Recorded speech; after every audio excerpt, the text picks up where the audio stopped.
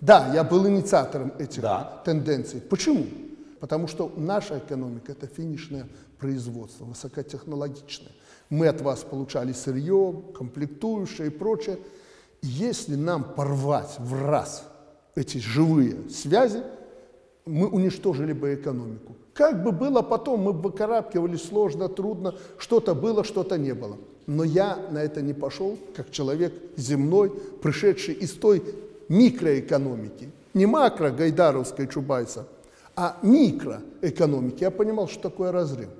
Да, я проинициировал это, но согласитесь, что все э, союзы э, постсоветские, всякие интеграционные проекты – это Россия.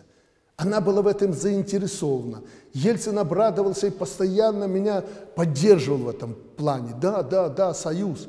Потом э, Евразес Путин предложил. И всегда Россия была инициатором этого. Так вот, если мы или кто-то в этот союз вступает, он что, вступает ради того, чтобы хуже было? Нет. А у нас с какого-то момента нашего союзного строительства и евразесовского здесь все пошло вниз. И С какого сегодня, момента? С какого момента? Где, Ну, случай- где что случилось, где не срослось? Вы знаете, это постоянно было, постоянно было, вот э, год за годом сменилась у вас власть, и со времен, э, когда вокруг Владимира Владимировича прагматики, образовались рыночники, они считали, что да, ну что там, мы проживем без всех, Беларусь нам не надо, пусть будем потихоньку, потихоньку ее там прессовать. Экономика у них хороша, давайте цены на энергоносители повышать и так далее. Но не в этом главное. Результат сегодня. 9 миллиардов долларов дефицит товарооборота. Так вот вопрос, э, что мы от этого получили?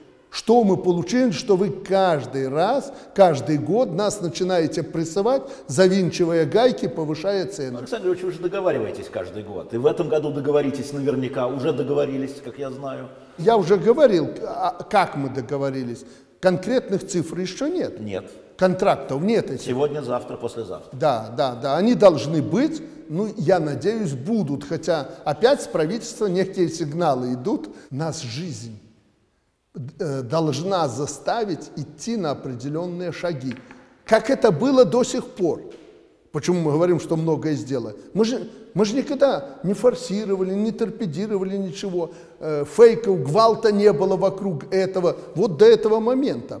Поэтому вы абсолютно правы.